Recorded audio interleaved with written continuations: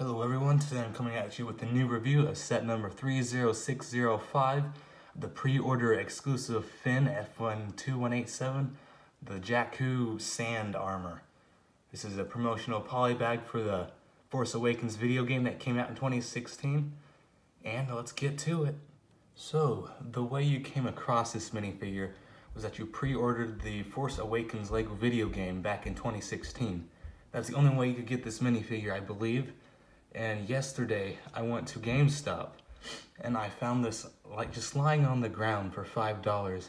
So I'm like, sweet. So I picked it up and it's a pretty good minifigure. He's got the awesome sand on his armor. Makes it look pretty cool. He's got a, the reddish brown skin color.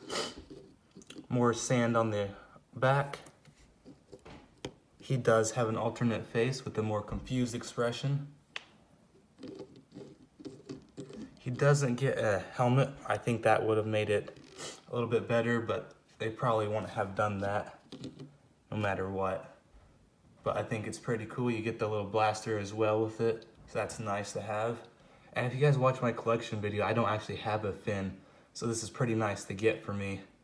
So I hope everyone enjoys.